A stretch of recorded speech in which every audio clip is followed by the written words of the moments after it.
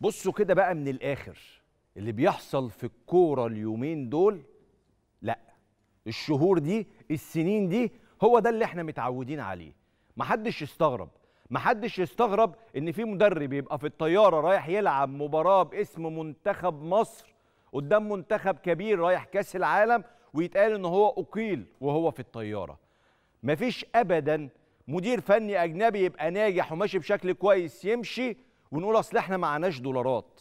مفيش أصلا حاجة اسمها إنك تعلن عن رحيل مدرب وهو رايح يلعب مباراة لا قدر الله وهو عارف إن هو مش المدرب. واللاعبين اللي معاه دول عارفين إنه مش هيبقى هو المدرب ولا قدر الله. نخسر أربعة ولا خمسة ولا ستة. ما هي دي هتبقى فضيحة. فضيحة لمين يا سيد؟ فضيحة للكرة المصرية. فضيحة لمنتخب مصر. هو إزاي بنشتغل كده؟ وبصراحة شديدة. وبصراحة شديدة.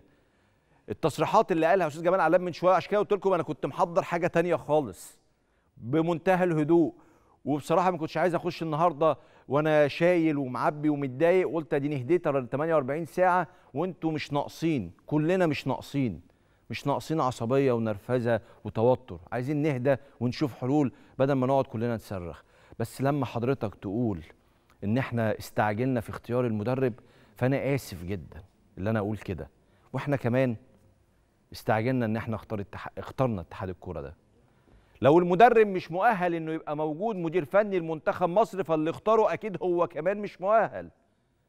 المدرب اللي قعد مباراتين فقط واكتشفت بعد كده إن هو مش مؤهل إنه يدرب منتخب مصر يبقى أكيد أنت ما اخترتش على معايير وما اخترتش على أسس وما اخترتش بناء على خطة ما اخترتش على كل هذه الأمور. يبقى أنت عندك مشكلة قبل ما نحاسب المدرب نحاسب اللي اختاره. أنا مش قادر أفهم. وبعدين في حاجة كده بين قوسين لازم أقولها. يا جماعة مش كل واحد مسؤول في الكورة يكون عنده مهارة الحديث للإعلام. لو انت مش مؤهل انك تتحدث للإعلام هناك متحدث رسمي هو اللي يتحدث للإعلام. لكن لما تقول تصريحات عشان تدافع بيها عن اتحاد الكورة فتكتشف بعد كده إن انت استفزيت الناس أكتر بالتصريحات دي يبقى في مشكلة كبيرة. الوضع كله غلط. الوضع كله في الكورة غلط. وأنا النهارده مش جاي أمسك في خناق المدرب ومش جاي أمسك في خناق اتحاد الكورة. أنا جاي أتكلم على منظومة. المنظومة كلها متلخبطة. منظومة دوري مش منتظم دوري في مباريات مؤجلة دوري مش عارفين أوله لآخره. كاسين بنلعب كاسين في موسم واحد كاس موسم اللي فات وكاس الموسم الحالي. منظومة غلط ما عندناش محترفين بره بقيمة كبيرة باستثناء محمد صلاح والباقي مع كامل الاحترام ما عندناش محترفين. لاعبين محليين مصريين موجودين في الدوري المصري دوري لا ينتج أي لاعب محلي مميز ولا لاعب مع كامل الاحترام. لما بقول ولا لاعب لا أقصد بيها التقليل من اللاعب ده. أنا أقصد إنه اللاعبين اللي بيطلعوا من الدوري المصري هم يليقوا فقط على الدوري المصري. لكن لما بنيجي نلعب على مستويات كبيرة لما بنيجي نلعب على مستويات خارجية لما بنيجي نلعب في منظومة بتتكون لأول مرة من مجموعة لاعبين زي منتخب مصر حتى لو لاعب منتخب مش قوي ما بيعرفوش ينسجموا. عندنا مدير فني وأنا هقول بقى ورزقي على الله. كابتن إيهاب جلال هو مدير فني محترم وأنا مش هغير كلامي. مدير فني محترم وله بصمات في كل فريق بس هو أصلا اختيار الكابتن إيهاب جلال لمنتخب مصر وفي هذا التوقيت كان اختيار صح؟ لا طبعا غلط.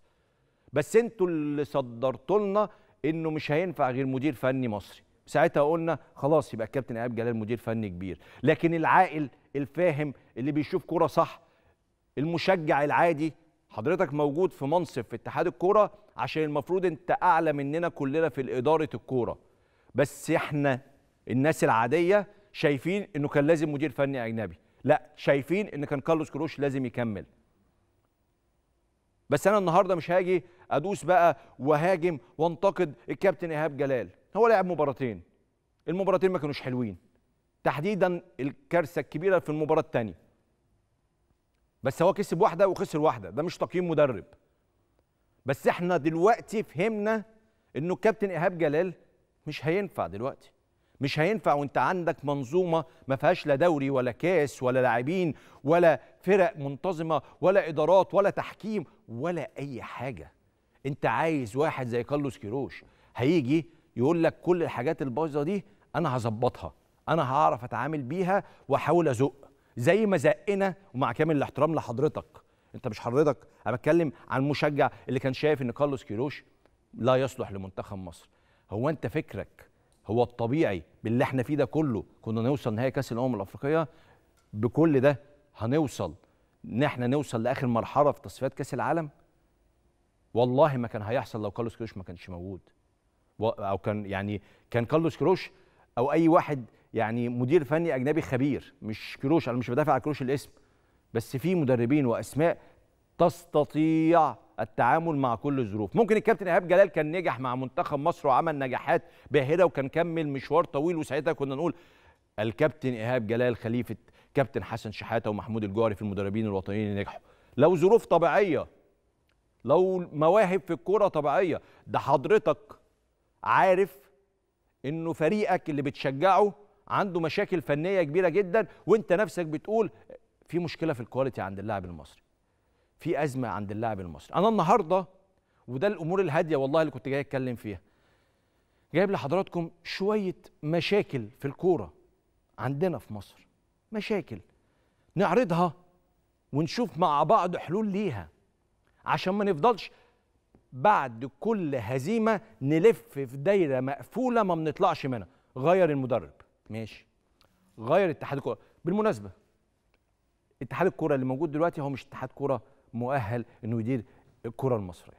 بس بالمناسبة هو اللي هيجي بعديهم مين؟ طب بلاش دي. هو اللي هيختار اللي بعديهم مين؟ ما هو أصلا اللي بيختار في الجمعيات العمومية ربما ما يكونوش عندهم نفس القدر من من المؤهلات اللي تخليهم يختاروا اتحاد كره يستطيع إدارة الكرة المصرية. فإحنا عارف أنت كل ما تخش في حتة تلاقي الدنيا دي اتقفلت تخش في حتة تلاقي الدنيا دي اتقفلت هي الدايرة. مفيش مخرج. لا تعالوا ندور على مخرج بس من الأساس. القصة مش قصة مدرب ولا قصة اتحاد كورة وبس. قصة أكبر من كده بكتير. هكلمكم النهارده على قطاعات الناشئين. فين؟ فين الناشئين اللي بيطلعوا للكرة المصرية؟ فين المواهب؟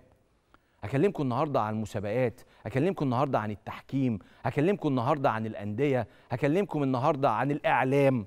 عشان برضه لما بقول كل الكلام ده فالناس تقول لك إيه؟ يعني أنتوا كل حاجة في المنظومة الرياضية كويسة والإعلام هو اللي مثالي؟ لا مفيش حاجة مثالية.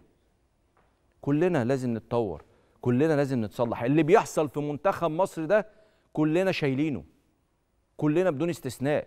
اللي بيعلي صوته واللي بيوطي صوته اللي بيفكر واللي ما بيفكرش اللي بيعمل أزمات واللي ما بيعملش أزمات. كلنا حتى اللي ما بيعملش أزمات بالسلب بالسلبية. عمل أزمة لمنتخب مصر عمل أزمة للكرة المصرية. أنا غيران بصراحة. أنا متضايق جدا ومتنرفز ومتعصب ومتجنن وكل حاجة زي زيك بالظبط. ما اصل ده منتخب مصر. أنت عارف لو الأهلي أو الزمالك أو الإسماعيلي أو المصري يعني الأمور هتعدي. هتعدي. هنزعل طبعا أي واحد فيهم يمثل مصر هتعدي. بس ده منتخب مصر. لا بقالنا سنين بقى. بقالنا سنين بنلف في نفس الدايرة ومش عارفين نخرج منها. ويجي النهارده الأستاذ المحترم جمال علام بالمناسبة. هنا نحن لا نعيب ابدا في أشخاص. هنا حضرتك ممكن تطلع تقول لي لا أنت ما بتعرفش تتكلم. أنت مش إعلامي أنت تعبان أنت مش مش مؤهل إنك تبقى إعلامي. براحتك ده رأيك. تمام؟ أدام أنت ما عندكش مشكلة شخصية معايا. وأنا يا أستاذ جمال علام تحديدا بكن له كل الاحترام كل الاحترام كشخص مهذب ومحترم. بس أنا آسف. هو أستاذ جمال علام لما كان موجود ومجلسه في 2015 كان إيه حجم النجاحات؟ آه يعني النجاحات العظيمة اللي حضراتكم تتذكروها يعني. إيه الإنجازات اللي حصلت في الكرة المصرية وتطور الكرة المصرية؟ ورجع تاني. وهيمشي جمال علام وهيمشي مجلسه النهارده بكره السنة الجايه حسب ما يمشي وإن كان يعني أنا لو مكانهم من نفسي يعني. بس فرضا كمل هو مين اللي هيجي بعده؟ وهنختاره إزاي؟ واللي هيدير الكورة اللي هيجوا يديروا الكورة بقى عشان يعملوا ثورة في الفكر ده هيحصل إزاي؟ مين دول أصلا؟ مين الأسماء اللي هتيجي وتعمل ده؟ هل حضرتك شايف كام اسم؟ طيب هل الكام اسم دول هيعرفوا يكسبوا انتخابات؟ ما هو في أسماء ما بتعرفش تكسب انتخابات في أسماء مؤهلة بس ما بتعرفش تكسب انتخابات.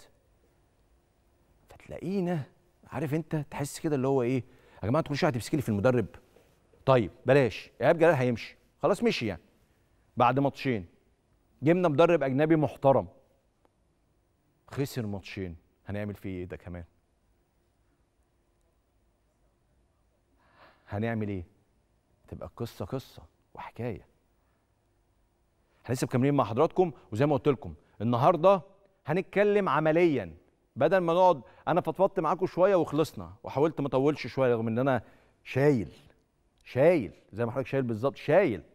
كلنا شايلين. بس هنيجي بقى نتكلم بدل ما إحنا ماسكين في المشكلة وعمالين نصرخ طب يا جماعة ساعدونا ساعدونا ساعدونا نشوف حلول. طيب النهارده هننور النور على المشاكل وهنجتهد مع حضراتكم إن إحنا نقول شوية حلول. مش شرط الاجتهاد بتاعنا ده يكون الاجتهاد المثالي الصحيح.